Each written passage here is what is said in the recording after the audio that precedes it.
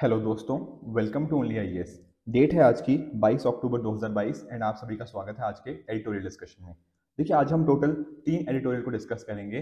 पहला एडिटोरियल है climate change और मॉनिटरी पॉलिसी से संबंधित। देखिए क्लाइमेट चेंज आप सभी जानते हो मॉनिटरी पॉलिसी भी जानते हो बट कहीं ना कहीं क्लाइमेट चेंज का इम्पैक्ट क्या हो सकता है मॉनिटरी पॉलिसी के अंदर? क्या हम फ्यूचर में रेडी हैं इस चीज़ को एंटिसिपेट करने के लिए? इसके रिगार्डिंग एडिटोरियल में राइटर ने कुछ बातें करी हैं, उनको समझने की कोशिश करेंगे। दूसरा एडिटोरियल हम डिस्कस करेंगे, वो है संबंधित online fight where children need to be saved देखिए चिल्ड्रन के कॉरस्पॉन्डिंग बहुत सारे इश्यूज़ हैं। सेक्सुअल अब्यूज़ का केसेस हमें देखने को मिलते हैं। उसके साथ ही साथ, जब मैं बात करता हूँ इनके रिगार्डिंग जो सेक्सुअल अब्यूज़ के रिगार्डिंग कुछ मटेरियल होता है, वो ऑनलाइन सर्कुलेट होता है, इसको हमें कैसे टैकल करना चाहिए? इसके रिगार्डिंग यहाँ पे राइटर ने बात करी है। एंड तीसरा, हम डिस्कस करेंगे editorial regarding Interpol Interpol actual में 1923 में बना था। अगले साल 2023 में इसको 100 साल हो जाएँगे। तो यहाँ पर एडिटोरियल में राइटर डिस्कस कर रहे हैं, कैसे इंटरपोल को क्या बेटर कर सकते हैं कौन कौन से नए नए इश्यूज़ आ रहे हैं, उनको कैसे टैकल किया जा सकता है, इसके रिगार्डिंग राइटर ने यहाँ पे कुछ चर्चा करी है। बिफोर हम तीन एडिटोरियल की तरफ़ मूव करें, एक quote of the day that is Mahatma Gandhi ji के द्वारा politics without principle is a sin देखिए, आप सभी जानते हो, महात्मा गांधी जी ने टोटल सेवन सिंस की बात करी है। उनमें से एक सिन क्या है? पॉलिटिक्स विदाउट प्रिंसिपल्स समझते हैं इसको। देखो, हमारे कंट्री में एंटी डिफेक्शन लॉ है, बिल्कुल। एक पार्टी से आप दूसरी पार्टी में जाते हो तो कुछ ना कुछ वहाँ पे आप एडीएल के प्रोविजंस को जानते हो। बट तब भी हमारे जो पॉलिटिशियंस कह लीजिए, हमारे जो एम पीज एम एल वो कहीं ना कहीं एक पार्टी से दूसरी पार्टी में जाते रहते हैं। क्यों जाते हैं? अगर मान लीजिए या तो किसी मिनिस्टेरियल पोस्ट के लिए जाएँ, या फिर हो सकता है मनी की वजह से कि पैसे का लालच दे दिया समथिंग और द अदर कुछ इस तरह की चीज़ों की वजह से जब वो अपनी आइडियोलॉजी को चेंज करते हैं तो वो क्या है? पॉलिटिक्स है बट बिना प्रिंसिपल्स के। और महात्मा गांधी ने इसी चीज़ को एक सिन की तरह माना है।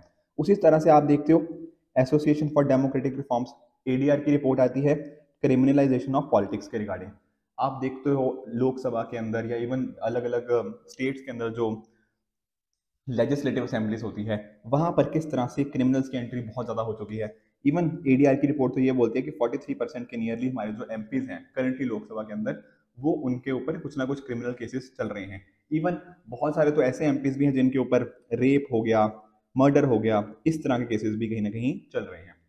तो ये सारी चीज़ें क्या दिखाती हैं? ये सारी चीज़ें दिखा रही हैं कि पॉलिटिक्स कर रहे हैं बट प्रिंसिपल्स खत्म हो चुके हैं। आपने मिलिट्री कूल का कई बार एग्ज़ाम्पल देखा होगा अलग अलग कंट्रीज़ के अंदर। जहाँ पर क्या कर दिया जाता है? एक तरह से तख्ता पलट कर दिया गया। डेमोक्रेसी को हटा दिया गया और उसकी तरह मिलिट्री आ गई। ये क्या है? पॉलिटिक्स विदाउट प्रिंसिपल्स ठीक है ना? तो ये तो एक चीज़ होगी। इसका दूसरा डायमेंशन कैसे समझेंगे? पॉलिटिक्स भी है प्रिंसिपल भी है। जिन्होंने कुछ ऐसे लीडर्स भी तो रहे हैं, जिन्होंने क्या किया है? प्रिंसिपल्स के साथ पॉलिटिक्स को वर्क किया है और देश की अच्छाई के लिए काम किया है। जैसे कि लाल बहादुर शास्त्री जी। आप सभी जानते हो कि लाल बहादुर शास्त्री जी ने पॉलिटिशियन रहते हुए कितने अच्छा काम देश के लिए किया। राइट? इवन जब रेलवे मिनिस्टर थे वो, तब एक रेल हादसा हो गया था और इन्होंने अपना रेजिग्नेशन उसके कॉरस्पॉन्डिंग दे दिया था। ठीक है ना? कि आप देख रहे हो, ये क्लियरली क्या दिखाता है कि प्रिंसिपल्स उनके बहुत स्ट्रांग थे। किसी भी चीज़ की वजह से उन्होंने अपने प्रिंसिपल्स के साथ धोखा नहीं किया। इसी तरह से आप वर्ल्ड के अंदर एग्ज़ाम्पल भी दे सकते हो। नेल्सन मंडेला जी का एग्ज़ाम्पल हो गया, या फिर अब्राहम लिंकन जी का एग्ज़ाम्पल हो गया।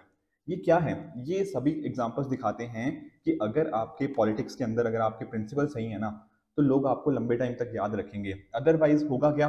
फिर पॉलिटिक्स विदाउट प्रिंसिपल वाला चीज़ आ जाएगी जहाँ महात्मा गांधी ने उसको एक मेजर सिन की तरह माना है। ठीक है ना? तो ये सारी चीज़ों से भी आप डेफिनेटली इस तरह से आपके एथिक्स के अंदर एसेस के अंदर इस तरह के आप कोर्स यूज़ कर सकते हो।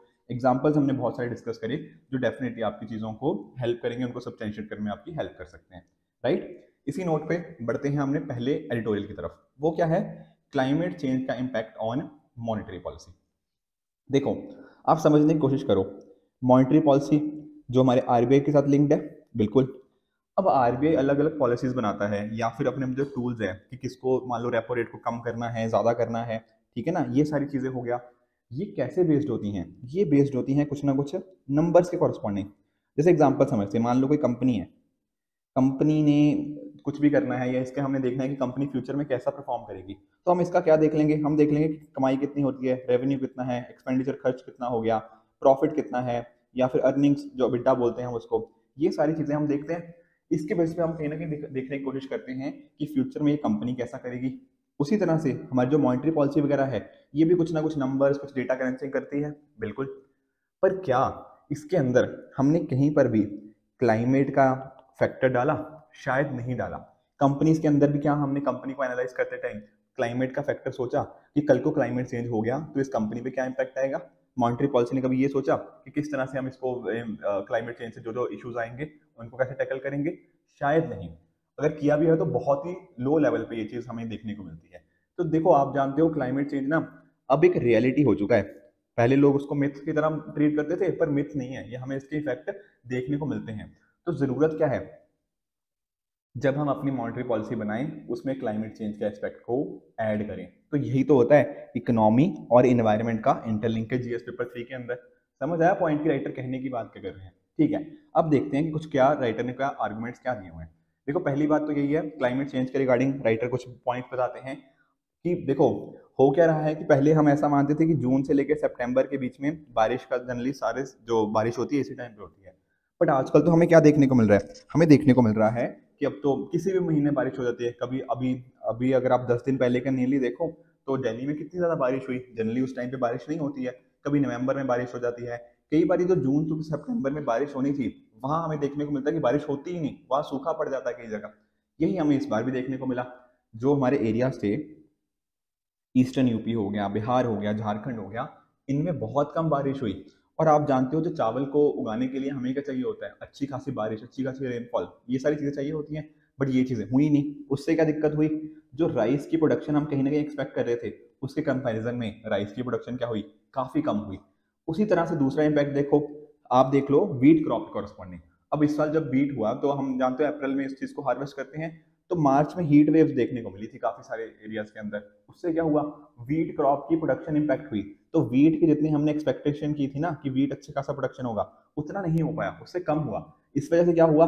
एफसीआई के पास जो कॉरस्पॉन्डिंग स्टॉक है, वो काफ़ी लोएस्ट लेवल पर चला गया in recent times lowest levels नहीं बोलूँगा रिसेंट टाइम्स के अंदर जो थे लोएस्ट लेवल उनके कॉरस्पॉन्डिंग चल गया। अब आप एक चीज़ जानते हो इकोनॉमी में एक चीज़ होती है डिमांड एक होती है सप्लाई अब देखो डिमांड तो इतनी ही है, चावल की भी और वीट की भी बट उनकी सप्लाई क्या होगी? सप्लाई कम होगी ना, क्योंकि प्रोडक्शन अच्छी नहीं हुई। इस बेसिस पे क्या होगा डिमांड सप्लाई के बीच में क्या हो गया? मिसमैच हो गया। डिमांड उतनी ही है सप्लाई कम है। तो मिसमैच हुआ। मिसमैच कैसे उसका इम्पैक्ट क्या होगा? हमें देखने पड़ेंगे ज़्यादा प्राइजेस चावल और गेहूँ के जो वीट और राइस है, इसके प्राइसेस बढ़ जाएँगे। बिल्कुल। और प्राइसेस बढ़ेंगे, क्या बढ़ेगा? इन्फ्लेशन बढ़ेगा। उसके साथ ही आप एक चीज़ नोटिस करो। ये एशिया यूक्रेन का क्राइसिस भी चल रहा है, ठीक है ना? उसके साथ क्लाइमेट चेंज जब एडअप हो गया, उसके बेसिस पे क्या होगा? एनर्जी की डिमांड ऊपर नीचे हो रही है। कभी बहुत ज़्यादा हमें एनर्जी की रिक्वायरमेंट हो जाती है, कभी कम हो जाती है। इसके साथ ही साथ आप देख रहे हो, ये जो ऑयल के प्राइसेस है, जो क्रूड ऑयल के प्राइसेस है, कभी आप देख रहे हो कि अचानक से एक डॉलर एक सौ दस डॉलर ऐसे पहुँच गए, कभी नब्बे डॉलर पे आ गए। ठीक है ना? तो ये क्या हो रहा है? बहुत ज़्यादा वोलेटिलिटी होगी। वोलेटिलिटी से क्या आया अनसर्टेनिटी ऊपर नीचे हो रहा है हर चीज़ का प्राइस कभी अचानक से बढ़ गया, कभी थोड़ा कम हो गया। इस तरह की चीज़ें चल रही हैं। जब ऐसी सिचुएशन होती है, जब प्राइजेस बढ़ रहे हैं, फिर थोड़े कम हो गए, फिर दोबारा बढ़ गए, फिर कम हो गए तो सोच रहे हो, जो सेंट्रल बैंक होगा आरबीआई होगा, क्या उसको करेगा? किस तरह से इन्फ्लेशन को कंट्रोल कर पाएँगे? क्योंकि बहुत अपने अप डाउन चल रहे हैं ना तो क्लाइमेट चेंज के साथ ये इश्यूज़ हमें देखने को मिल सकते हैं। समझ आया? ठीक है। अब यहाँ पर राइटर ये बात कर रहे हैं कि क्लाइमेट चेंज में ना दो तरह के इश्यूज़ आते हैं। एक होता है फ़िज़िकल एक होता है ट्रांजिशन मैं समझाता हूँ यहाँ पे। देखो फ़िज़िकल इश्यू का क्या मतलब? देखो क्लाइमेट चेंज से आप जानते हो, या तो जैसे रेनफॉल हो गया, बहुत ही हैवी रेनफॉल हो सकती है राइट इस तरह की कुछ ना कुछ चीज़ें हो सकती हैं। तो इससे क्या होगा? रेनफॉल का इम्पैक्ट हमें कितनी देर में देखने को मिलेगा? शॉर्ट टर्म पे, या शॉर्ट टर्म या मीडियम टर्म पे, ठीक है? पर इसी के कुछ और फ़िज़िकल रिस्क हो सकते हैं, जैसे कि हमारी कंट्री हमारी कंट्री हमारे वर्ल्ड का क्या हो रहा है? धीरे धीरे गर्मी हो रही है ना ग्लोबल वार्मिंग ग्रेजुअल वार्मिंग ये सारी सिचुएशन आ रही हैं। उसी तरह से डिजर्टिफिकेशन हो रहा है। ठीक है ना? डेजर्ट ज़्यादा से ज़्यादा बढ़ते जा रहे हैं, उनकी जो रीच थी वो बढ़ती जा रही है। इससे क्या हो रहा है? मीडियम से लॉन्ग टर्म इम्पैक्ट राइट इसी तरह एक और इम्पैक्ट होता है। What is that transition risk देखो क्लाइमेट चेंज से ना ट्रांजिशन रिस्क कैसे आएगा? सोचो। आज आप क्या कर रहे हो? आप, आज आप कोयले के ऊपर बहुत ज़्यादा डिपेंडेंट हो। आप सभी जानते हो फ्यूचर में क्या होगा? आप थोड़ा जो ग्रीन एनर्जी है, उसकी तरफ़ डिपेंडेंट होगे? बिल्कुल होगे। तो ये आपकी आज की स्टेट है, ये आपकी फ्यूचर की स्टेट है।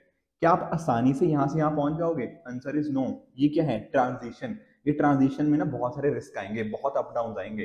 तो ये क्या हो गया? अनसर्टेनिटी ट्रांजिशन रिस्क ये क्या है? ये भी यहाँ पे हमें शॉर्ट से लॉन्ग टर्म यहाँ पे इश्यूज़ यहाँ पे देखने को मिल सकते हैं। तो यही बात यहाँ पे राइटर बोल रहे हैं कि हमें फ़िज़िकल रिस्क भी देखने को मिलेंगे, कुछ ट्रांजिशन रिस्क भी देखने को मिलते हैं।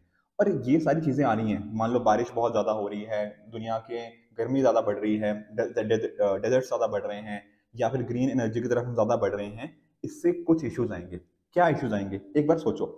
जैसे फॉर एग्ज़ाम्पल आज आप कोयले पे डिपेंडेंट हो फ्यूचर में ग्रीन एनर्जी पे डिपेंडेंट होंगे तो कोयले के हिसाब से कुछ तरह की जॉब्स आज के टाइम रेलिवेंट है? बिल्कुल। तो क्या फ्यूचर में जब आप ग्रीन एनर्जी की तरफ़ मूव कर जाओगे, क्या ये जॉब्स क्या ये कंपनीज़ रेलिवेंट रहेंगी? शायद नहीं रहेंगी, क्योंकि इन्होंने कोयले पे ऊपर आज भी डिपेंडेंसी है। बट हम तो मूव किसकी तरफ़ करके ग्रीन एनर्जी की तरफ़ मूव करके बिल्कुल। तो ये जो लोग जो इस तरह के जॉब्स करते थे, इनकी वेजेस क्या होंगी? कम होंगी। इनकी इनकम कम हुई। ये क्या करेंगे? ये स्पेंड कम करेंगे, खर्चा कम करेंगे डेफिनेटली ठीक है? और इसके साथ ही साथ रेनफॉल के कॉरस्पॉन्डिंग मैंने आपको बताया इन्फ्लेशन इम्पैक्ट हुआ। इन्फ्लेशन क्यों इंपैक्ट हुआ? क्योंकि आउटपुट इंपैक्ट हुआ ना राइस और वीट का। उसी तरह से डेजर्टिफिकेशन के कॉरस्पॉन्डिंग कुछ ना कुछ इश्यूज़ देखने को मिलेंगे कि मार्केट में क्या आएगी? वोलेटिलिटी आएगी, ठीक है ना? तो ये सारी चीज़ें किसको इंपैक्ट कर रही हैं? अभी देखा ना आउटपुट आउटपुट को इम्पैक्ट किया? यस कंजम्पशन आप कितना कर रहे हो? इन्वेस्टमेंट पे इम्पैक्ट कर रहे हो? प्रोडक्टिविटी जैसे जैसे क्लाइमेट चेंज आता है, वहाँ पे प्रोडक्टिविटी को इम्पैक्ट करता है। देखो, जैसे दिल्ली में देख लो, अगर क्लाइमेट अगर सिचुएशन खराब होती है पोल्यूशन ज़्यादा होता है, आपके हेल्थ रिगार्डिंग इश्यूज़ आएँगे, उससे आपकी प्रोडक्टिविटी कम होगी उसी तरह से एम्प्लॉयमेंट भी मैंने आपको समझा दिया कि कुछ नई जॉब्स आएँगी। वहाँ पर आपको इस जॉब से इस जॉब की तरफ़ ट्रांजिशन करना पड़ेगा। तो ये क्या है? ये सारे वेरिएबल्स इंपैक्ट हुए या नहीं हुए क्लाइमेट चेंज की वजह से? द आंसर इज़ यस समझ आया पॉइंट ये क्लाइमेट चेंज ने इन वेरिएबल्स को इंपैक्ट किया। ये वेरिएबल्स है कौन से सर अरे, इन्हीं को तो क्या बोलते हैं? मैक्रो इकोनॉमिक वेरिएबल्स हमारी जब आरबीआई मॉनिटरी पॉलिसी निकालती है तो किसके बेसिस पे निकालती है? इन्हीं मैक्रो इकोनॉमिक वेरिएबल्स के ऊपर ही तो निकालती है कि मार्केट में इन्फ्लेशन कितना है प्रोडक्टिविटी क्या है एम्प्लॉयमेंट क्या है, कैसे ग्रोथ को कैसे बढ़ाना है। ये सारी चीज़ें होती हैं, नहीं होती? बिल्कुल होती हैं। तो जब क्लाइमेट चेंज ने इन वेरिएबल्स को इंपैक्ट किया तो आपको नहीं लगता कि मैक्रो इकोनॉमिक वेरिएबल्स जब इंपैक्ट हो रहे हैं तो मॉनिटरी पॉलिसी भी इंपैक्ट हो रही है?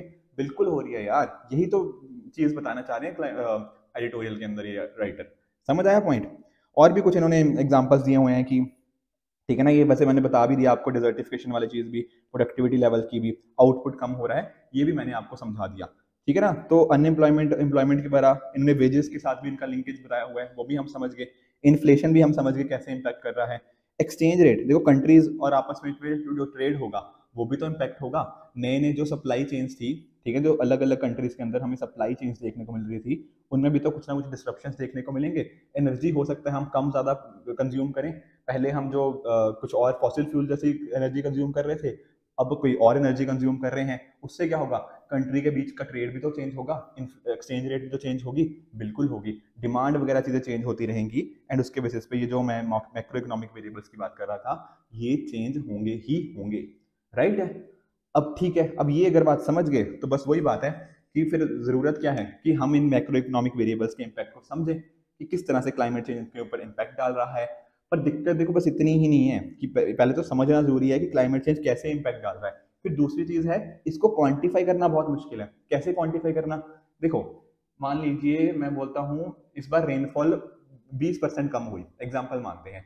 तो रेनफॉल 20 परसेंट का इम्पैक्ट हमारी इकोनॉमिक वेरिएबल्स पर कितना होगा? क्या वो पाँच परसेंट होगा, दस परसेंट होगा, पंद्रह परसेंट होगा? इसको क्वांटिफाई करना बहुत मुश्किल है। चलो मान लो हमने कुछ करके क्वांटिफाई कर भी लिया। फिर उसके बेसिस के ऊपर हमने देखा कि इसका इम्पैक्ट क्या हुआ। उसके बेसिस इम्पैक्ट के बेसिस पे हम क्या करेंगे? हम रेपो रेट सी आर को कितना बदलेंगे? क्या उसको पाँच बेसिस पॉइंट दस basis point fifty basis point कितना चेंज करेंगे? ये क्वांटिफाई करना इन चीज़ों को बहुत मुश्किल होने वाला है। तो इस वजह से हमें क्या ज़रूरत है? आप खुद सोचो। हमने ना इस कॉरस्पॉन्डिंग रिसर्च ज़्यादा करी नहीं है। हमें रिसर्च करने की ज़रूरत है, तब जाके थोड़ा समझ आएगा। ठीक है ना? इसके साथ ही राइटर एक दो चीज़ें और भी बताते हैं। जैसे फॉर एग्ज़ाम्पल अभी जैसे मैंने आपको क्या बताया कि जैसे क्रूड ऑयल के रिगार्डिंग में चीज़ें बता रहा था, ठीक है ना? क्रूड ऑयल के प्राइस ऊपर नीचे हो रहे हैं। ये थोड़ा स्ट्रक्चरल रीजन की वजह से है, या फिर कुछ सप्लाई साइड रीजन की वजह से है? बिल्कुल। पर जो हमारा सेंट्रल बैंक है, जो आरबीआई है, वो आप जानते हो, वो किस साइड को ज़्यादा कंट्रोल कर सकता है? डिमांड साइड को।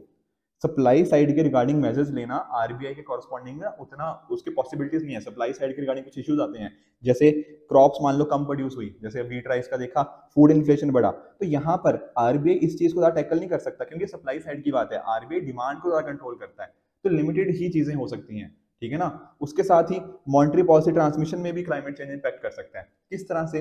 देखो, जब नई नई चीज़ें आ रही हैं नए नए क्लाइमेट रिलेटेड डिजास्टर आ रहे हैं, उस बेसिस पे क्या होगा? कंपनीज़ हो सकता है, अच्छे से काम ना करें, उनके एनपीएस बढ़ जाएँ। बिल्कुल। और एक बार एनपीएस बढ़ गए तो बोझ किसका बढ़ रहा है? बोझ था नीचे जो बैंक था, उसका बढ़ा ना। तो बैंक बोझ बढ़ गया बैंक के ऊपर तो बैंक क्या करेगा? अब किसी को लैंड नहीं करेगा। वो सोचेगा कहीं ना कहीं इसको भी मैं दे दूँ और ये एनपीए ना हो जाए। ठीक है? उसी तरह से एक ट्रांजिशन हो रहा है। मैंने बताया ना कोल से हम कहा ट्रांसफ़र कर रहे हैं? ग्रीन एनर्जी की तरफ़। तो ये कोल वाली जो इंडस्ट्रीज़ हैं, जो यहाँ पे काम कर रही हैं, इनको लोन देना या नहीं देना? और कितने टाइम के लिए देना है? ये भी तो बैंकों के लिए दिक्कत आ गई ना। समझ नहीं आ रहा आप कैसे करें। ठीक है? तो बैंक्स का कॉरस्पॉन्डिंग यहाँ पे इश्यूज़ बढ़ सकते हैं। उसके बेसिस के ऊपर मॉनिटरी पॉलिसी ट्रांसमिशन अगर अगर आरबीआई मान लो, कुछ रेट्स वगैरह कम ज़्यादा करता है, उसका इम्पैक्ट क्या फाइनल हमें एंड कस्टमर पे देखने को मिलेगा या नहीं मिलेगा? यहाँ पर कुछ ना कुछ इश्यूज़ आ सकते हैं क्लाइमेट चेंज की वजह से। उसी तरह से यहाँ पे ये बात भी कर रहे हैं राइटर कि हाउस होल्ड को किस तरह से उनका पैसे स्पेंड करेंगे इन्वेस्ट करेंगे, यहाँ पर दिक्कत आ सकती है। देखो, इसको मैं ना नेक्स्ट पॉइंट के साथ रिलेट करता हूँ, क्योंकि काफ़ी सिमिलर पॉइंट है। आप समझने की कोशिश करो। मान लो आप एक पर्सन हो, ठीक है? आपके पास कुछ पैसे हैं। एग्ज़ाम्पल ले लेते हैं, दस हज़ार रुपये ठीक है? अब आपके पास ना दो ऑप्शन हैं। या तो इसको आप अपने पास संभाल के रखो, या पर, या फिर इसको एक थोड़ा बहुत खर्च कर दो, ठीक है? अब होगा, थोड़ा पता मान लीजिए होता क्या है? मान लो आपको फ्यूचर में क्या दिखती है? अनसर्टिनिटी पता नहीं फ्यूचर में क्या होने वाला है। क्यों दिख रही है? मान लो बहुत सारे रीजन हो सकते हैं। One of them being climate change climate change से आपको पता नहीं है कि पता नहीं आने वाले टाइम में महँगाई कितनी होगी, कम होगी, ज़्यादा होगी राइस मिलेगी वीट मिलेगी, नहीं मिलेगी। आई ना अनसर्टनिटी बिल्कुल आई। जब इस तरह की सिचुएशन आती है, जब आपको पता नहीं होता, आप इस पैसे को खर्च करने से डरोगे। क्यों डरोगे? आपको पता ही नहीं है फ्यूचर में मेरे पास पैसे जितने हैं, वो काफ़ी हैं या नहीं है। क्या फ्यूचर में कुछ गड़बड़ होगी? तो मैं कहाँ से मतलब अपनी गुजारा चला पाऊँगा? तो इसलिए आप क्या करोगे? आप इस पैसे को क्या करोगे? खर्च नहीं करोगे। समझ आया point you will not spend it आप इन्वेस्ट नहीं करोगे। आप क्या करोगे उसको? सेव करोगे। प्रिकॉशनरी सेविंग बोलते हैं इसको। कि हमें नहीं पता अनसर्टनिटी हमें पता नहीं हमारी जॉब रहेगी या नहीं रहेगी। अभी देखा था ना कि जॉब्स कुछ इरेलीवेंट हो जाएँगे। तो जॉब रहेगी या नहीं रहेगी, इस वजह से क्या कर रहे हो आप? इस पैसे को सेव कर रहे हो। तो जब आप पैसे को सेव कर रहे हो इन्वेस्ट नहीं कर रहे, वो क्या हो रहा है? जीडीपी कम होएगी, नहीं होएगी? बिल्कुल होएगी। इस तरह के इश्यूज़ यहाँ पे देखने को मिल रहे हैं, ठीक है? रेट ऑफ़ इंटरेस्ट के ऊपर कुछ चेंजेस देखने को मिल रहे हैं कि अगर मान लो, जैसे फॉर एग्जांपल आरबीआई ने रेपो रेट कम कर भी दिया। रेपो रेट करने से क्या होगा? बैंकों ने मान लो क्या किया? अपनी इंटरेस्ट रेट कम कर भी ली। तो क्या आप बैंकों में जाओगे लोन लेने? नहीं। आपके ऊपर अनसर्टिनिटी आ चुकी है। आपको पता ही नहीं है कि मैंने लोन ले लिया, मैं क्या उसको लोन को वापस कर पाऊँगा या नहीं कर पाऊँगा? नहीं पता, क्योंकि आपके अंदर क्या आ चुकी है? अनसर्टेनिटी ये अनसर्टेनिटी किस वजह से आई? One of them is climate change उसी तरह से देखो, फिर हमारी अप्रोच होनी क्या चाहिए? अप्रोच ये होनी चाहिए कि पहले तो हम अंडरस्टैंडिंग देखें कि क्लाइमेट चेंज आखिर है क्या? क्लाइमेट चेंज से क्या दिक्कतें क्या आ रही हैं? ठीक है ना? क्या क्या क्लाइमेट चेंज किस तरह से हमारे जो मैक्रो इकोनॉमिक वेरिएबल्स हैं, उनको कैसे इंपैक्ट कर रहे हैं? फिर दूसरी चीज़ ये होनी चाहिए कि हमारे जो अलग अलग इकोनॉमिक मॉडल्स हैं, उसके अंदर क्लाइमेट चेंज के इम्पैक्ट को देखें। जैसे मान लो एक कंपनी है। अब कंपनी फ्यूचर में कैसा करेगी? हम इसके ना सिर्फ़ इसके फाइनेंस के ऊपर चले जाते हैं कि इसका रेवेन्यू कितना है, कितनी कमाई करी, कितना खर्च करा, कितना ये हुआ, कितना प्रॉफिट कितना हुआ, वो सारी चीज़ें। इसमें एक फैक्टर और इंक्लूड करो क्लाइमेट चेंज कि क्लाइमेट चेंज से इस कंपनी को क्या इम्पैक्ट आएगा? कंपनी के कितने प्लांट्स हैं जो कहीं ना कहीं क्लाइमेट चेंज से इम्पैक्ट हो सकते हैं? फ्यूचर में क्या ये कंपनी हो सकता है सिर्फ़ एनर्जी के ऊपर जो कोल जैसी एनर्जीज के ऊपर काम कर रही हो तो क्या इसमें इम्पैक्ट आएगा? नहीं आएगा। ये सारी चीज़ें अपने मॉडल के अंदर डालो, तब जाके इस चीज़ को देखो। सेम चीज़ आरबीआई और सेंट्रल बैंक करनी है। जब इकोनॉमिक पॉलिसीज़ बनानी है तो क्लाइमेट चेंज का फैक्टर अपने अंदर लेकर आओ, ठीक है ना? जब कंपनीज़ को एनालाइज करना है तो उनकी क्रेडिट रेटिंग्स जैसे आप जानते हो ना, जैसे हमने पहले भी डिस्कस किया हुआ है मूडी हो गया एस हो गया फिच हो गया, इस तरह की कंपनीज़ जो कहीं ना कहीं दूसरी कंपनीज़ को या दूसरी कंट्रीज़ को एनालाइज करती हैं, उनको भी, जब उन कंट्रीज़ के कॉरस्पॉन्डिंग रिस्क को एनालाइज करना है तो मेक श्योर sure कि क्लाइमेट रिलेटेड रिस्क उसके अंदर इंक्लूड हो। सिर्फ़ फाइनेंस रिस्क मैनेजमेंट रिस्क इस बेसिस पे नहीं करना क्लाइमेट रिस्क को भी उसके अंदर इंक्लूड करो। अलग अलग जो हमारी कंपनीज़ होती हैं, उनको क्या करना चाहिए? जब वो हर साल सेबी के साथ अपना एनुअल रिपोर्ट्स देती हैं तो वहाँ पर उनको शेयर करना चाहिए कि क्लाइमेट के बदलने से उनके ऊपर क्या इम्पैक्ट होगा। और जब लोगों की इसके रिगार्डिंग अवेयरनेस बढ़ेगी, तब ये चीज़ को हम इंश्योर कर पाएँगे कि ये चीज़ों को हमने अपने अंदर इनकॉर्पोरेट कर लिया है। तो यही बात कर रहे हैं clear communication is a basic requirement for success of पॉइंट्री policy इन चीज़ों को हम बताएँ लोगों को। यही तभी हो सकता है कि हम इन चीज़ों को इंश्योर कर पाएँगे कि ये जो चीज़ें क्लाइमेट चेंज को कैसे हमने अपनी इकोनॉमी के अंदर इंक्लूड किया हुआ है, फिर उसी के बेसिस पे क्या हो सकता है, हमारे इफ़ेक्टिव पॉलिसी रिस्पॉन्स बेसिस पे बनाया जा सकता है। यही एक प्रोएक्टिव अप्रोच हो सकती है, जो हमें हेल्प कर सकती है। पॉइंट समझ आया कि किस तरह से इकोनॉमी और हमें इस चीज़ को इन्वायरमेंट को आपस में रिलेट कर सकते हैं। काफ़ी अच्छा आर्टिकल था पर्सनली मुझे अच्छा लगा काफ़ी। उसी तरह से चलते हैं हम सेकेंड एडिटोरियल की तरफ़। देखो सेकेंड एडिटोरियल इंटरपोल से संबंधित है। मैंने आपको लेक्चर की स्टार्टिंग में बताया था कि इंटरपोल 1923 में बना था। 2023 में अगले साल क्या होगा? इसके 100 साल कंप्लीट हो जाएँगे। थोड़ा सा मैं अगर आपको इंटरपोल के बारे में बताऊँ, देखो इंटरपोल क्या है? इंटरनेशनल ठीक है? क्रिमिनल पुलिस ऑर्गेनाइजेशन ठीक है, ये है इंटरपोल की फुल फॉर्म अब देखो, इसका फॉर्मेशन तो उन्नीस में हो गया, ठीक है? और ये क्या है? एक इंटर गवर्नमेंटल ऑर्गेनाइजेशन है. मतलब यहाँ पे पार्टनर्स कौन है? अलग अलग जो मेंबर्स हैं, वो गवर्नमेंट्स होती हैं. तो इंटर गवर्नमेंट ऑर्गेनाइजेशन है टोटल कितनी कंट्रीज़ 195 कंट्रीज़ इसके अंदर मेंबर्स होती हैं, ठीक है? लियोन फ्रांस के अंदर इसके आपको हेडक्वार्टर्स देखने को मिल जाएँगे. और इसके अंदर ना देखो, होता क्या है? जैसे मान लो इंडिया की तरफ़ से है. इंडिया की तरफ़ से कौन कौन है? Central bureau of investigation CBI है. तो इस तरह से अलग अलग कंट्रीज़ के कॉरस्पॉन्डिंग उनकी कोई ना कोई एजेंसी होंगी, बिल्कुल होंगी। ये आपस में इंफॉर्मेशन को शेयर करेंगे। यस कुछ तरह की पीछे असिस्टेंस देनी होगी। बैक एंड असिस्टेंस की सीबीआई को कोई हेल्प चाहिए हो, पीछे असिस्टेंस दे दिया इसने। कोई और यूएस की कोई कंपनी को असिस्टेंस चाहिए होगा, उसको असिस्टेंस दे दिया। इस तरह की चीज़ें, ठीक है ना? ये अपने आप में एक बार ध्यान रखना इंटरपोल अपने आप में इन्वेस्टिगेटिंग एजेंसी नहीं है। पर ये बाकी और जो अलग अलग लॉ इन्फोर्समेंट एजेंसी है अलग अलग कंट्रीज़ की, उनके बीच में कोऑर्डिनेशन को, उनके बीच में इन्फॉर्मेशन को शेयर कराने में हेल्प करती है। जैसे आपके नए नए चीज़ें होंगी, जैसे टेररिज्म के रिगार्डिंग जैसे काउंटर टेररिज्म ऑपरेशन होंगे साइबर क्राइम हो गया, या फिर ऑर्गेनाइज क्राइम हो गए, ये सारे इंटरनल सिक्योरिटी में पढ़ते हो, इसके रिगार्डिंग आपके जो इन्फॉर्मेशन हो गया डेटा हो गया, उसको कैसे शेयर करना है, कैसे एक्सेस करना है, ये सारे काम इंटरपोल के द्वारा किए जाते हैं। पॉइंट समझ आया? ठीक है। अब यहाँ पर राइटर क्या बात कर रहे हैं कि आजकल के टाइम पे ना, देखो नए नए आपको ना चीज़ें देखने को मिल गई। गन कल्चर बढ़ रहा है एक्सप्लोइटेशन हो गया चिल्ड्रन का अब्यूज हो गया वुमेन अब्यूज हो गया, ये सारी चीज़ें। उसके साथ ही साथ आइडेंटिटी थेफ्ट जहाँ पर क्या होता है, आप किसी और बंदे का नाम, उसकी पर्सनल डिटेल को यूज़ करते हो, जैसे मान लो क्रेडिट कार्ड हो गया, ठीक है ना, और उनके बैंक अकाउंट से आपने पैसे निकलवा लिए उनका नाम या फिर उनकी पर्सनल डिटेल यूज़ करते हुए, इस तरह के इश्यूज़ या फिर कई बार होता है स्विंडलिंग ऑफ़ इनकम स्विंडलिंग का मतलब कि किसी को ट्रिक करना, जैसे किसी के साथ धोखाधड़ी कर दी, कुछ ठगी कर दी, ये सारी चीज़ें, ये काफ़ी कॉमन होता जा रहा है। उसी तरह से मनी लॉन्ड्रिंग का आप एस्पेक्ट जानते हो इसे ट्रेड ये सारे भी क्या हैं? ट्रांसनेशनल क्राइम्स हैं। देखो, एक नेशन में नहीं, जैसे इंडिया में कोई क्राइम हुआ तो ज़रूरी नहीं है कि उसका सिर्फ़ इंडिया के साथ ही रेलिवेंस है। हो सकता है उस बंदे ने, या फिर उस ऑर्गेनाइजेशन ने क्राइम्स वो इंडिया के बाहर भी करा हो, या फिर इंडिया में क्राइम करके वो यूएस चला गया हो। समथिंग और द अदर कहीं ना कहीं ये क्राइम्स क्या हैं? ये ट्रांसनेशनल क्राइम्स बन जाते हैं। तो पुलिस फोर्सेज जो हमारी होती है ना अलग अलग कंट्रीज़ की जो पुलिस फोर्सेज हैं उनको तो एक तरीके से काम करना चाहिए ना। तरीका इन द सेंस की आपके उन, उनको तो कुछ लॉज के हिसाब से गवर्न किया जाता है ना। इनके पीछे कुछ ना कुछ लॉज होते हैं डेफिनेटली उसके बेसिस पे किस तरह से काम करना है किस तरह से क्या क्या प्रोसीजर होने चाहिए वो तो यहाँ पर होता है। पर ये जो जिन्होंने काम किया ये जो मान लो मनी लॉन्ड्रिंग वगैरह करी उनके ऊपर तो कोई लॉ नहीं है ना। वो तो इंडिया में करके कहीं कनाडा चले गए समथिंग और अदर इस तरह की चीज़ हुई। तो यहाँ पर ये जो हमारी इंटरपोल हो गया या बाकी की और एजेंसीज हैं, इनको भी इस तरह से ही काम करने की ज़रूरत है ताकि ये जो लॉ इन्फोर्समेंट है, ये अच्छे से काम किया जा पाए। देखो, बात करें अगले साल की ना तो अगले सॉरी अगले साल नहीं, इसी साल इनफैक्ट नाइनटी जनरल असेंबली हो रही है इंटरपोल की। यहाँ पर ये किसके द्वारा होस्ट करी जा रही है? इंडिया के द्वारा। तो इंडिया को भी इंश्योर करना चाहिए कि यहाँ पर जो इश्यूज़ हैं, कहीं ना कहीं इंटरपोल के रिगार्डिंग हम उनको सॉल्व कर पाए।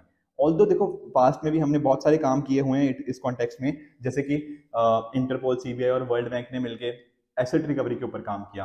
कि मान लीजिए किसी ने ना कोई पर्टिकुलर पर्सन था जिसने एसेट्स को कर लिया बट हम क्या कर रहे हैं, उसको रिकवर करने की कोशिश कर रहे हैं। मान लो कोई एसेट था, वो किसी ने चोरी कर लिया। ठीक है समथिंग फ्रॉड या फिर कुछ फ्रॉड वगैरह किया हो उस बंदे ने तो उस वहाँ से रिकवरी कैसे करनी है? इस चीज़ के रिगार्डिंग काम हमने किया है इस डायरेक्शन के अंदर। और साथ ही साथ इंटरपोल के देखो क्या क्या काम हो गए जैसे फॉर एग्ज़ाम्पल यहाँ पर अलग अलग डेटा बेसिस को इंटरपोल यूज़ करता है। किस तरह से यहाँ पे फिंगरप्रिंट का स्टोरेज हो गया साइबर uh, क्राइम्स हो गया ये सारी चीज़ें यहाँ पर देखी जाती हैं। इसके साथ ही कंट्रीज़ के बीच में थोड़ी कोऑर्डिनेशन हो गया जो मैं आपको स्टार्टिंग में बता भी रहा था। अब देखो नए नए क्राइम्स आ रहे हैं। नारकोटिक्स हो गया इलीगल गर्ल ट्रेड ये सारी चीज़ों में कॉरस्पॉन्डिंग इंटरपोल ने अलग अलग कंट्रीज़ के बीच में कोऑर्डिनेशन किया है एंड उसके बेसिस पे काम करने की कोशिश करी है। साथ में ही हमें देखो इंटरपोल के कॉरस्पॉन्डिंग जब कोऑर्डिनेशन करते हैं, कुछ नोटिस भी देखने को मिलते हैं। जैसे कि रेड नोटिस में क्या हो गया? अगर कुछ वांटेड पर्सन होता है तो उसके कॉरस्पॉन्डिंग हम ये नोटिस निकाल देते हैं रेड पर्सन का। येलो नोटिस में कोई बंदा मिसिंग होता है राइट तो उनको लोकेट करने के लिए ये चीज़ करी जाती है। ऑरेंज नोटिस के अंदर कोई अगर कोई इमिनेंट थ्रेट होता है तो वहाँ पर हम इसकी बात कर लेते हैं। ग्रीन नोटिस में हमें कुछ वार्निंग हो गया, कुछ इंटेलिजेंस हो गया, वो चीज़ों की बात हो गया। उसी तरह से जब मैं बात करता हूँ ब्लू नोटिस की तो कई बार होता है ना कि किसी पर्सन के रिगार्डिंग कुछ इन्फॉर्मेशन चाहिए होती है इन क्रिमिनल इन्वेस्टिगेशन वो यहाँ पर करी जाती है।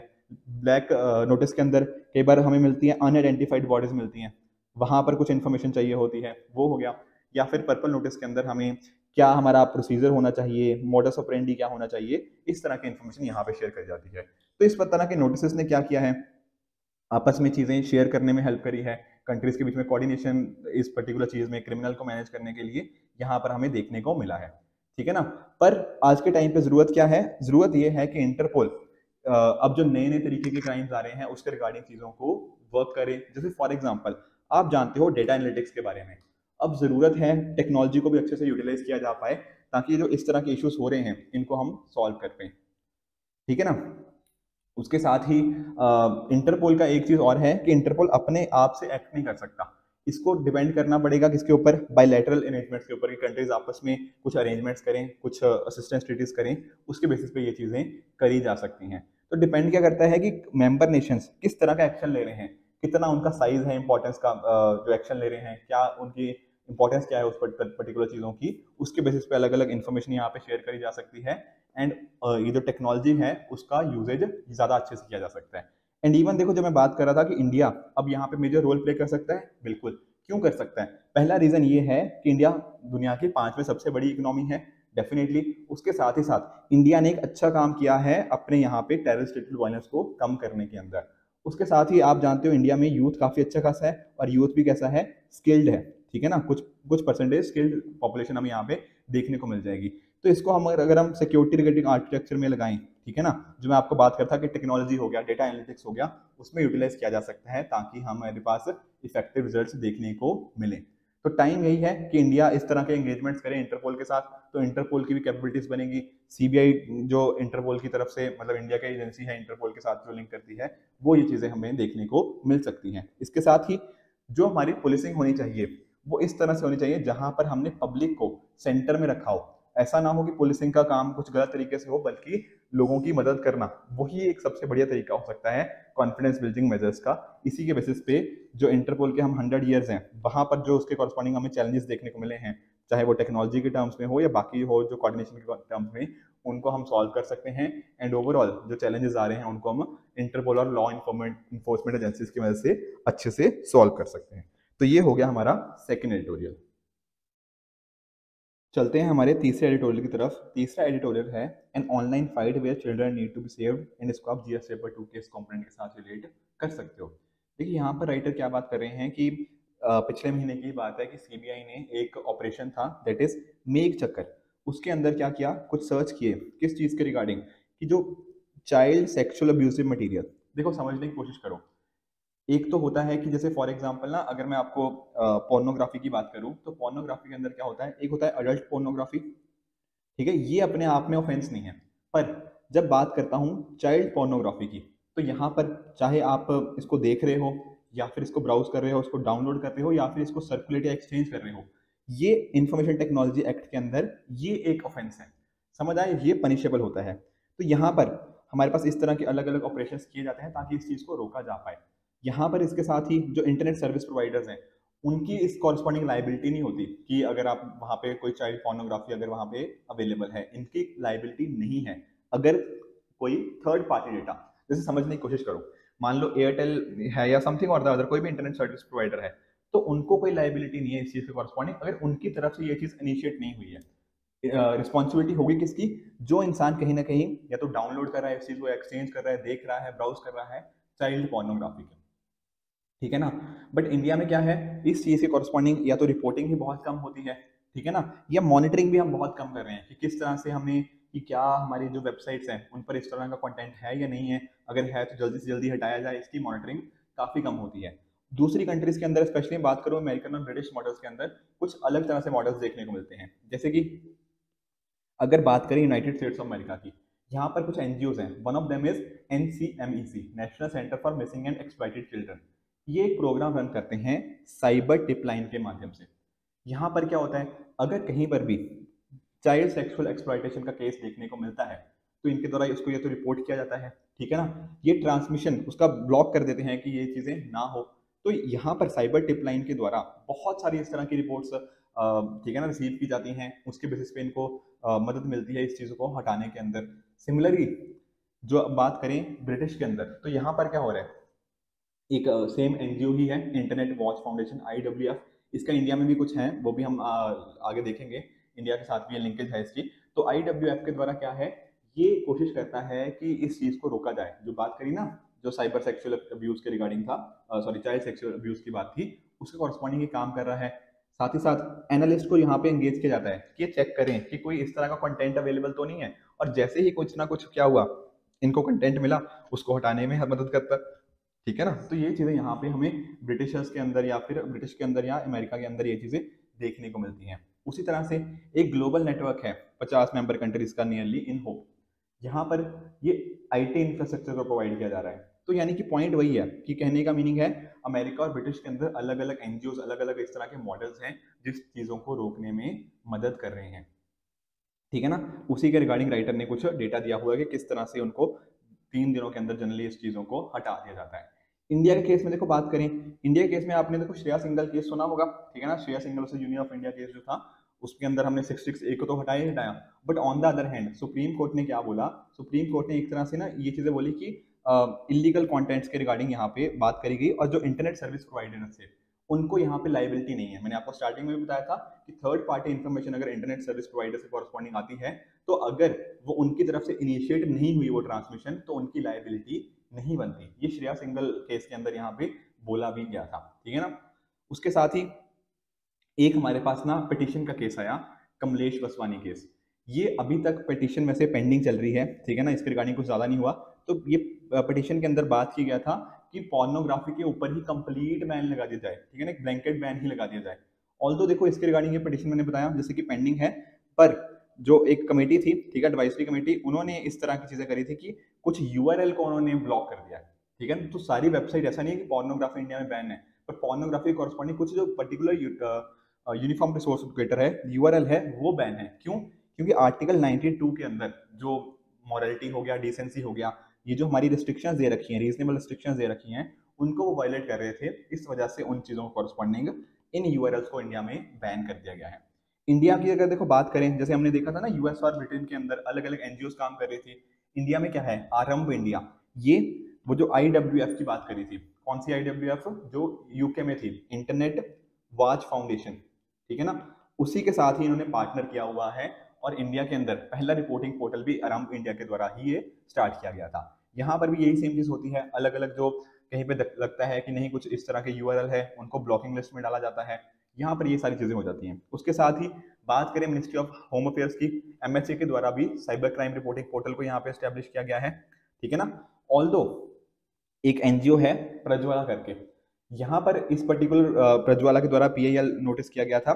यहाँ पर इसके कॉरस्पॉन्डिंग इस तरह के सेक्स वर्कर्स हो गया, ये सारी चीज़ें यहाँ पर हमें देखने को मिलती थी।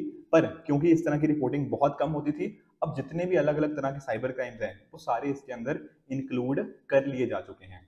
नेशनल क्राइम रिकॉर्ड ब्यूरोज ने भी नियरली ट्वेंटी लैख ऐसी रिपोर्ट्स हमें देखने को मिली हैं, जो कि अलग अलग स्टेट्स को भेज दी गई हैं कि अब स्टेट्स उसके कॉरस्पॉन्डिंग एक्शन लें। इवन देखो हमारे ना एडहॉक कमेटीज आप जानते हो स्टैंडिंग कमेटी होती है, एक होती है एडहॉक कमेटी तो इस पर्पज के लिए एडहॉक कमेटी भी अलग से बनी हुई थी, जो कि जयराम रमेश जी के द्वारा हेडिंग की गई थी। इन्होंने भी क्या बताया है? इन्होंने बोला है कि ये इशू काफ़ी मेजर बनता जा रहा है, जो पोर्नोग्राफी का हो गया चाइल्ड पोर्नोग्राफी की अगर बात करें, और इसका काफ़ी नेगेटिव इम्पैक्ट हुआ है। तो यहाँ पर ज़रूरत क्या है? यहाँ पर ज़रूरत है कि चाइल्ड पोर्नोग्राफी की डेफिनेशन जो है ना, वो थोड़ी बड़ी करी जाए, ताकि जो अलग अलग वेबसाइट्स हो गया अलग अलग चीज़ें हो गया, उनकी अच्छे से मॉनिटरिंग करी जाए। मैंने बताया था ना मॉनिटरिंग बहुत कम है इंडिया के अंदर। रिपोर्टिंग भी कम है। इन चीज़ों के कॉरस्पॉन्डिंग उनके क्विक एक्शन लिया जाए। यहाँ पर इस पर्टिकुलर एडहोक कमेटी ने ये बात करी थी। साथ में ही एंड टू एंड इंक्रिप्शन को तोड़ने की बात। देखो, होता क्या है कि कई बार ना ऐसा बोला जाता है कि प्राइवेसी के लिए एंड टू एंड इंक्रिप्शन बहुत ज़रूरी है। बट साथ ही साथ ये क्या लेके आता है? एक तरह की अनोनिमिटी भी लेके आता है। तो हमें मान लीजिए पता ही नहीं लगेगा किसने क्या कंटेंट डाला या किसने किस तरह से चीज़ें शेयर करी, वो सारी चीज़ें। तो इस तरह के अगर एंड टू एंड इंक्रिप्शन को हम ब्रेक करते हैं तो उसके कुछ नेगेटिव्स भी हैं बट यहाँ पर इस पर्टिकुलर कॉन्टेक्स्ट में पोर्नोग्राफी को रोकने में वो मदद कर सकता है। साथ ही साथ इंडस्ट्रीज़ के साथ पार्टनरशिप करी जाए। डार्क वेब का मैं, अभी आपको मैं बता भी रहा था किस तरह से ऊपर होता है हमारा सरफेस वेब ठीक है ना? नीचे होता है क्या? जो डीप वेब और डीप वेब के अंदर एक कंपोनेंट होता है डार्क वेब का. डार्क वेब का, जहाँ पर सारी की सारी जो कहीं ना कहीं कुछ इलीगल चीज़ें वहाँ पे देखने को मिलती हैं, क्योंकि वहाँ पर क्या होता है, वहाँ पर ट्रैक करना चीज़ों को बहुत मुश्किल हो जाता है। तो अगर हम अपनी इंडस्ट्रीज़ के साथ, हमारे जो प्राइवेट सेक्टर है, उसके साथ कुछ कोलेब्रेशन करें नए नए जो टूल्स आ रहे हैं आर्टिफिशियल इंटेलिजेंस इन चीज़ों को मदद करें तो उसके बेसिस पे क्या हो सकता है यूज़र्स की आइडेंटिटी को ट्रेस कर सकते हैं एंड ओवरऑल हम कंपनीज़ के ये चीज़ों को रोका जा सकता है इस चीज़ के कॉरस्पॉन्डिंग उसी तरह से देखो, एक रिपोर्ट भी आई थी, ठीक है, इस रिपोर्ट के कॉरस्पॉन्डिंग यहाँ पर बात करी गई थी कि नियरली तीस कंट्रीज़ कॉरस्पॉन्डिंग उन्होंने मैंडेटरी कर दिया है कि अगर आपको ये चीज़ मिले तो इसको रिपोर्ट करना ज़रूरी है, ठीक है ना? आपको बताना ज़रूरी है कि हाँ ये चीज़ यहाँ पे एग्जिस्ट करती है। पर इंडिया देखो, वैसे इन तीस कंट्रीज़ के अंदर आता है, पर इंडिया में प्रॉपर कोई लॉ नहीं है इस चीज़ के रिगार्डिंग कि आपको मैंडेटरली रिपोर्ट करना ही करना है। तो ज़रूरत क्या है करने की? ज़रूरत यही है कि एक तरह की हमारी लाइबिलिटी को फिक्स किया जा पाए। ठीक है ना? जैसे काउंसिल ऑफ़ यूरोप कन्वेंशन के अंदर ये चीज़ बता रखी है। उसके साथ ही साथ ये जो जयराम रमेश कमेटी जी की रिकमेंडेशन थी ना कि किस तरह से जैसे मान लीजिए उसको एंड टू एंड इनक्रिप्शन को ब्रेक करना हो आर्टिफिशियल इंटेलिजेंस को यूज़ करना हो, ये सारी चीज़ों को अच्छे से अच्छे फॉलो अप करा जाए। जो प्रज्वला केस था, उसको भी अच्छे से इंप्लीमेंट किया जाए या फिर उसको एक, उसका जो हमने देखा था ना किस तरह से उसके अंदर सेक्स ट्रैफिकिंग सर्वाइवर्स के कॉरस्पॉन्डिंग था, जो डायरेक्शन दिए गए थे उसके कॉरस्पॉन्डिंग उसको प्रॉपरली हम इंप्लीमेंट करें, उसके कॉरस्पॉन्डिंग चीज़ों को और एक्सप्लोर करें, ये सारी चीज़ें हो गया। या फिर जो इन होप हो गया इंडिया उसको ज्वाइन करें, जो यूएस यूएस और ब्रिटिश के अंदर अच्छे एग्जाम्पल्स चल रहे हैं, उनके साथ हम कोलेबोरेशन कर सकते हैं। इसके बेसिस पे एक प्रॉपर स्ट्रेटेजी बनाएँ, तभी इंश्योर किया जा सकता है जो चिल्ड्रन है उनको सेव किया जा पाएगा और जो सी एस एम चल रहा है, इसके स्प्रेड को कहीं ना कहीं हम रोक सकते हैं। ठीक है ना? तो ये थे आज के तीनों एडिटोरियल आई होप आपको आज का लेक्चर अच्छा लगा होगा। इसी तरह से आप भी अपने एंड पे हार्डवर्क करते रहिए। Good bye and good luck